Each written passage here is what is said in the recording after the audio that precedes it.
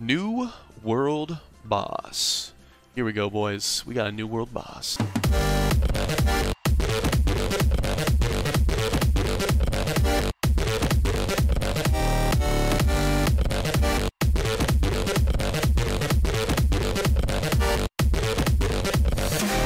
Back to another Bit Heroes video. Today we're going to talk about the new world boss that they've added in towards the end of Tier 10, and that's actually not a new thing for them to do. Orlag was added in towards the end of like Tier 5 or 6, and then Netherworld was added in towards the end of 6 or 7. Um, it was only the Melvin Factory that was added in with a new tier, so this is not a new move for them to do. But anyways, so the end of tier 10, if you completed the Echelon Zone, you will unlock this world boss, and you can do it. It is only in tier 10 currently, and it is a party of three. So as far as compositions, you want to have a tank in the front, a tank in the back, a DPS in the middle, and you should be good to go. Uh, make sure one of the tanks has high stamina, make sure one of the tanks has low stamina, and you can play around if you want a bait in the front and a bait in the back. We ran a bait tank in the front, it went fine, we had no problems with it, but everybody in the group had 5.5 to 5.6 thousand total stats. And you can probably participate in this if your stats are a little bit lower, but it seems like 5.5 is a good place to be. Because there's less people on the team, everybody has to kind of pull their weight a little bit better and just make sure that your win rate's nice and high. So there you go. Three-man team, 5.5 thousand total stats is going to give you a nice smooth win rate, assuming everybody has good gear. And, well, there you go. As always, the art is an A+. plus. The art in this game is phenomenal. Uh, love it. And if you like it so much that you want to add these guys on your team, well, we're going to talk about the familiars and the fusions and show you exactly how to do that. So here we go.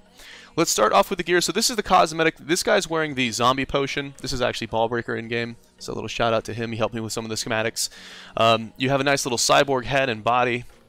Here's the head right here, and then the cosmetic body is right here as well. You also have a beautiful cosmetic mount, which is Roy with the cybernetic kind of vibe going on. And this mount is more rare than the Melvin Factory, and I think that's a good thing. It gives you something to look forward to, and it gives you some sort of prestige. The Melvin Factory mount was so common, everybody had it, that there was really no point to wearing it to show it off. So those are the cosmetics for you. And when you put them all together, it looks like this. And again, he's got a zombie potion on, so that's why his skin is a different color. So you're only seeing the uh, the robotic parts as the part of the cosmetic. Jumping into the mythic items, so there is a DPS mythic and there is a tank mythic. The DPS mythic again has a great cosmetic. However, the bonus deal 10% increased damage when the team when the enemy team only has one unit alive. So the bonus only makes sense or it's only valuable when you're fighting against one enemy, which is basically if you're fighting against the final boss of Trials or Gauntlet.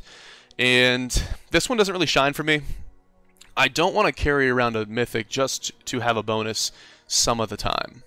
Doesn't really doesn't really do it for me. And when you're talking it's tier 10, there's plenty other mythic options for people. And if you're using the Polyblaster, you might want to double the bonus. Um, Starweave, etc. opens up a lot more options. This one doesn't really shine. I don't really I don't really see a time where I would choose this over choosing like 4% dual strike all the time or choosing the necrosis that gives me more SP. So I'm not I'm not excited about this. Not every item in the game is going to be best in slot anyways, but um, not excited about that. What I am excited about is the Tank Mythic. So gain 5% damage reduction while all teammates are alive. Oh yes, sign me up. It's a chest piece or a body piece. It's the same bonus that you get from wearing the Oblit set, which is 15% damage reduction while teammates are alive for the 4-piece bonus. Um, the stat breakdown on this, if you up tiered all the way to tier 10, is also the same stat breakdown. So you're going to have 35 um, agility and 35 stamina for example, if you put it into, if you reforge it into attack. So the stats are great, the bonus is great, I love it. Um, you will need to have a Star Weave most likely to fit this in with the build that you want to run, but this is awesome. Um, if I was a player that up-tiered Fish and Barrel from 8 to 9 and from 9 to 10, I'd be a little bit salty right now, but, you know, that's how these games kind of go. New things will come out that are better than old things. That's just how it goes, you know. If we're talking about cars, faster, faster cars are going to keep coming out, so to expect anything else doesn't really make any sense. And right now, this is a faster car. I like this bonus a lot. This would be my favorite. Um, going into the set, so there are two sets. There's a two-piece set for tank and a two-piece set for DPS. So they kind of wanted to keep an even 50-50 split on the number of sets for everybody. And here we go. So it's a two-piece set, which means that you don't necessarily need to have a Starweave. In fact, Starweave cannot help a two-piece set. For Starweave to work, you need um, at least a three-piece set. So it's nice to have options for players that don't get Star Weave or don't want to get Star Weave.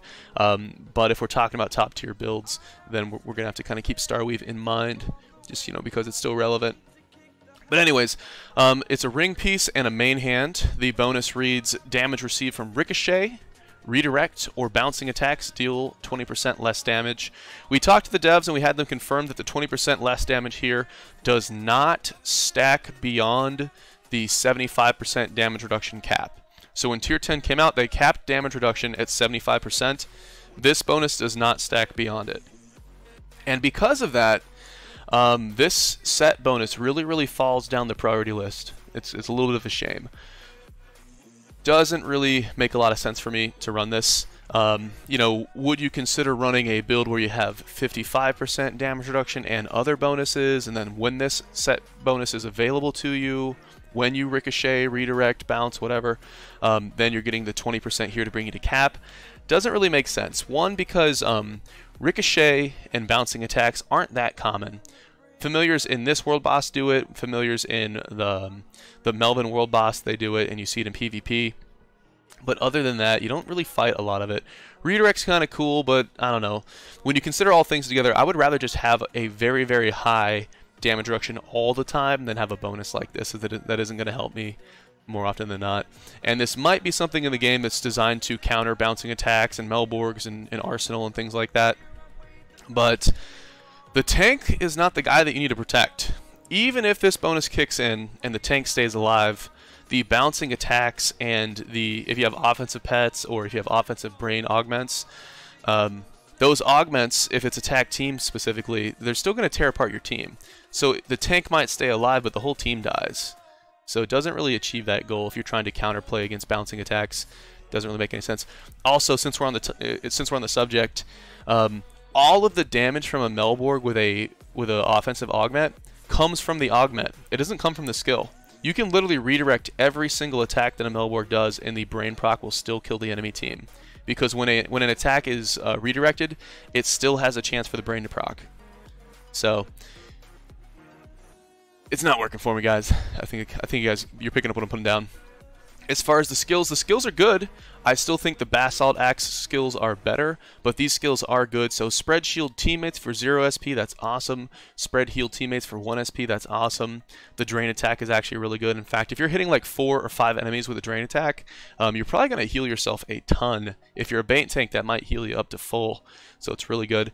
Um, kind of similar to the drain attack that we got on the on the Hellfire Axe, and it was a good way good way to proc the deflect in Raid 6, but we're not going to talk about that too much. So the skills are pretty good. The skills make more sense for a bait tank or for someone who's not on the front lines, because um, the heal skill is a teammate. You're shielding teammates, you're not shielding yourself, and the heal is a heal teammates.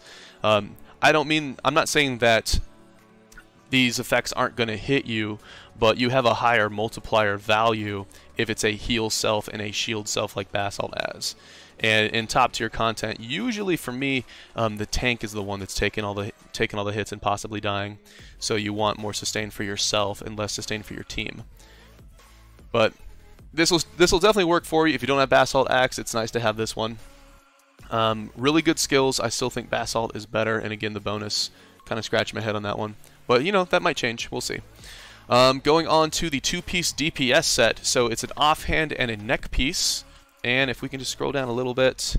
Skills that cost SP deal 15% increased damage. So this is the same bonus that we saw on the Inferno set. Skills that cost SP deal increased damage. Which means it has the same problem as the Inferno set. So the problem with the Inferno set is the, the big thing is that this does not buff your pet proc. Whether you have an offensive or a defensive pet, this does not benefit that in any way. And as I just said, in some cases, the pet is doing more output than the player or the familiar.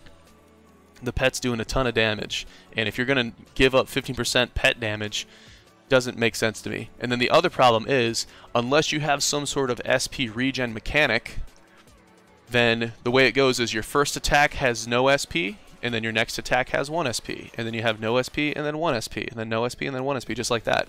So that means every other attack has 0 SP, which means every other attack is not going to get this 15% bonus. That's why I don't like the Augment chip that has this bonus, and that's why I don't like the Inferno set, and I don't like this one. That um, it doesn't work for me. Now, the one time that this set looks good is if you had the setup with the Poly Blaster, which doubles the Mythic bonus, and something like the Necrosis Necklace or something like the Meteor Chain Necklace. Necrosis is being a little bit better. Some sort of SP regeneration mechanic that gives you a lot of SP, therefore you're doing a lot of SP attacks, then this bonus starts to look good. It still falls short because it doesn't uh, buff your pet proc, but check this out. You can't fit the Poly Blaster and the Necrosis Necklace with this build. It, you can't fit it together because this has a neck slot.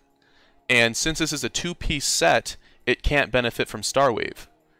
So you can't you can't mix in the one build that would give you enough SP to make this bonus viable.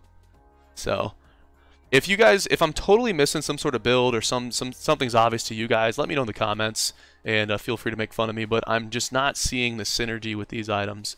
The cosmetics, I'm sure they look cool. I haven't seen the offhand in game, but I don't like this bonus. It has the same problems that Inferno has. I don't really get it. As far as the utility, though, you're basically getting a four-piece set bonus off of two pieces. So if you're a player that doesn't finish a set or finish a build, then this becomes interesting. But you still need to be able to kill a heroic world boss to be able to even get this set. Unless you're going to um, destroy legendaries and then, then craft it. That's the other way. There is a workaround. So if you can do the workaround, then that kind of makes sense. So let's move on. Let's move on. Let's take a look at these familiars. Let's start off at the Mythic. So there he is. Kaleido. We've seen a lot of fusions with Kaleido, we're seeing a lot more today. That's exactly what we're going to talk about. So here we go. Finally, we've got a new Mythic Healer added into the game. So Walog, he was either the second or the third Mythic added into the game, and we have not seen a Mythic Healer since. Well, here we go, and this guy has a whole lot of healing. So looking at the skills, he's got a bounce attack. I just want to be clear that the bounce attack here, um, you cannot bounce off a single enemy. So if you have only one enemy remaining, I know the skill kind of reads like it, it possibly could bounce off the same guy. It cannot. I've tested this with Melborg. He has the same skill. You cannot bounce attack on the single enemy. Can't do it. Now on the bright side, he has other options for his zero SP attack. He can spread heal teammates. He can spread shield teammates. Those are amazing. He's got a heal target. Even more amazing. He's got a 1 SP attack for this enemy, so he can put out some damage. And then check this out. A 1 SP Resurrect. You can use it once per adventure, like a mount skill. A 1 SP Resurrect. That's pretty crazy. Now, how useful that will be to you depends on you know what your experience is and what, what, kind of content that you're pushing. But a 1 SP Resurrect, I almost wonder if they're going to buff the old Heal Pew that we got in Jammy because that had a 4 SP Resurrect and this guy has a 1 SP Resurrect. I don't know if they're going to do that, but um, this is not a video about the jammy gun, and you guys probably know how I feel about the jammy gun. But looking back at this guy, his stats are cool. His stamina is not too high, not too low. His agility is super high. That might have you scratching your head, but honestly, with a healer, um, you want a lot of agility because that way he can heal frequently. He's not going to overheal. You can react if you take a bunch of damage you're not going to get hit like three times or four times before you can react. He's going to slip a heal in there. He's going to get some shielding in there. So if you, the sole purpose, purpose of this guy on your team is support, he's going to check that box. He's going to do phenomenal. Now, if we want to nitpick, and we really should nitpick because it's a Mythic Familiar, and Mythic Familiars cost a ton, um, if we're going to nitpick, his bonuses are not perfect. And so, fun fact, you can actually dual strike and or quad strike with a revive skill. So in the very rare scenario where everybody's dead and he's alive, you do actually have a chance of dual striking and quad striking and reviving everybody um, with the res. That's a cool skill. It can happen, um, but you know, think of how many times per year that's going to actually pay off for you. It's probably not going to be worth it. But it is possible. It can happen. You never know. But the problem I have with dual strike and quad strike is since he doesn't really focus on multi-hit attacks, yes, his basic attack can hit a couple times, um, but since his focus is not three hit and four hit and five hit skills, um, the best thing to put on him is an augment brain that is per turn. So that way, when he's healing, you're still going to have the the augment brain is still going to be effective. If you put a augment brain that is um, when he attacks, if you do a heal, then you're going to waste the brain. Does that make sense? So the best augment brain for him is per turn. And dual strike and quad strike do not buff the augment brain at all. And just based on what I was telling you about the, the output of the pet proc or the augment brain proc, is the augment proc is so important to the total output of a character or a familiar that you want to buff it. Which means for someone like this, you want to have empower chance, you want to have damage, you want to have speed. Any combination of those three is going to be better than dual strike and better than quad strike. It doesn't mean that dual strike and quad strike do nothing, they're not completely trash, but if you want to nitpick and talk about perfect and optimal, there you go. Now, I think they're intentionally not making a completely perfect familiar, because if you have perfect familiars now, there's no reason to look at for anything in the future. So every familiar is going to have flaws and weaknesses and things like that. But if you're going to consider going all in and investing in a mythic familiar, you should know everything about it. And then to make him, you need a Kaleido, and you need two of these legendary Kaleido um, fusions, and we'll talk about those right now. So going over Turnbot. Turnbot is a new bait tank that's been added into the game. If you missed out on Crundy, well, here you go. If you missed out on Crundy, um, this is one of your options. There's a second bait tank in here that we'll get to in a second as well. 28% damage reduction, 1% absorb chance, and then you see his stats right there. Um, stats are pretty good, man. Stats are good, especially for a bait tank. You would be very happy to have this guy. A 0 SP heal self, a 0 SP shield self, and then an uh, attack self skill for closest enemy, and then 2 SP for random enemy. He's really good. He's really, really good. Um, you you really need to stable him so that his stamina gets up enough so that you can actually you know use him. But familiar stamina scales higher faster than player stamina. So when we get to tier 11 and 12, his stamina is also going to kind of boost a little bit with respect to um, how much players increase their stamina. So his stats look good for a bait tank. For a tank that intentionally has low stamina, he looks amazing. The bonuses look awesome here. You might say, well, maybe I want 30% damage reduction.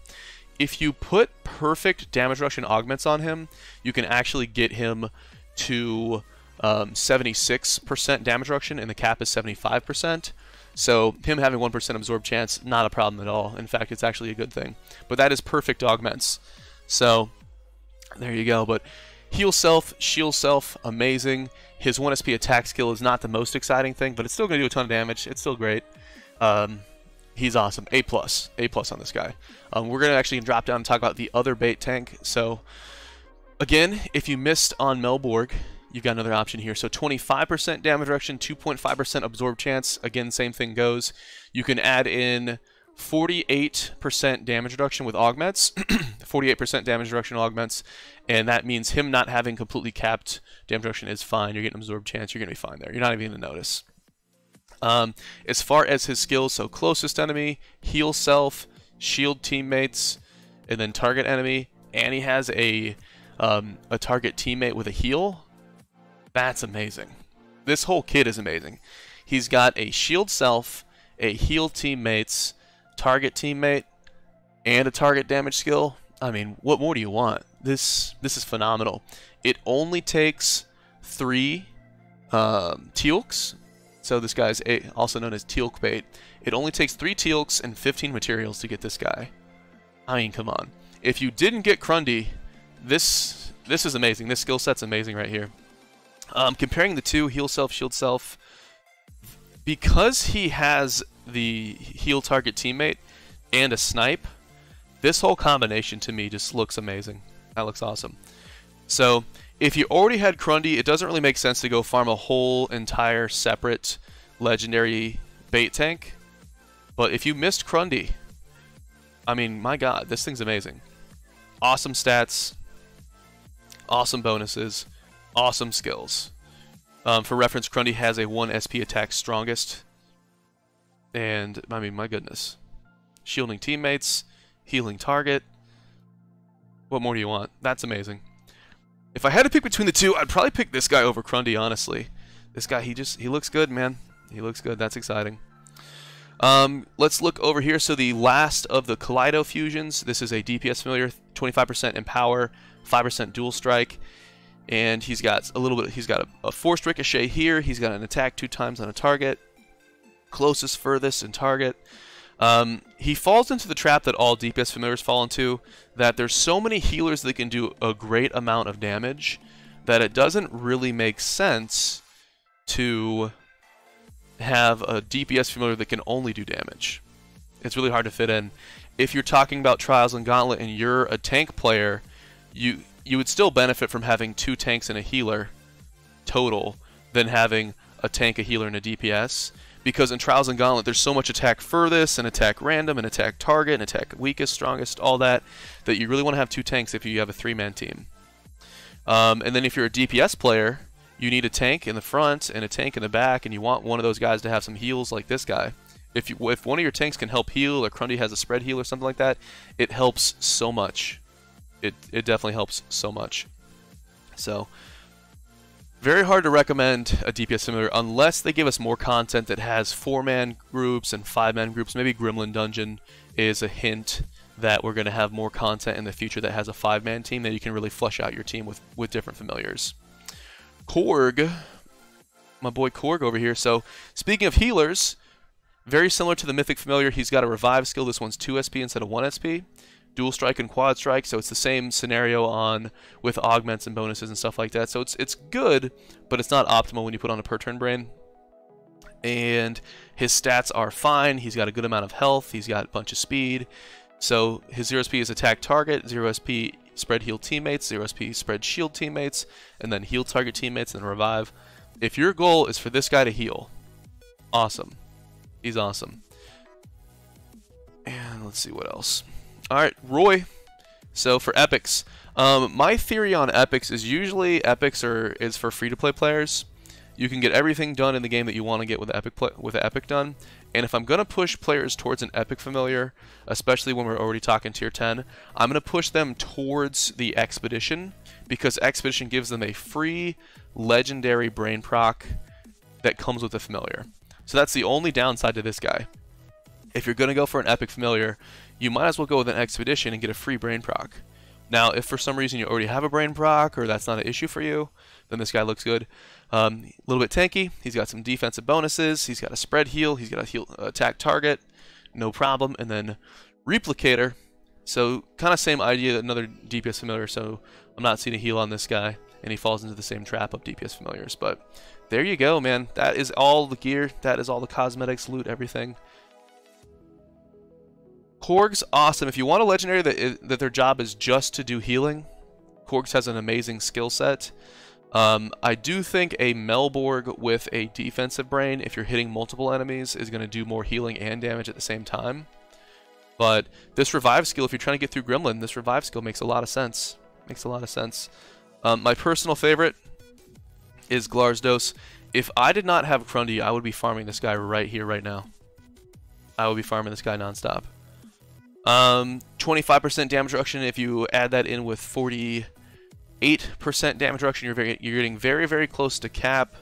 And again, those are perfect augments, but you're getting very close to cap. You got a little bit of absorb, no problems, no complaints there. And then the skill set, the stats are awesome, and then the skill set is it's just crazy. Heal self, shield teammates, damage target, and then heal target teammate.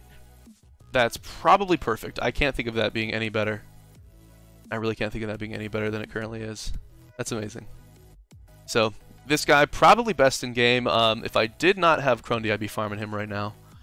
And there you go. So I'm still waiting to see a, a high stamina tank in the game that has similar... If you give me a high stamina tank that has the same skills as this, you know, when he's fully stabled in tier 10, if he has like 1500 stamina or 1600 stamina, I mean, that's like the dream team right there. All the familiars, the art looks phenomenal. Great job to the to the devs. And that'll do it, boys. So let me know what you think. Let me know if I got anything wrong. As always, I will see you guys in the next video.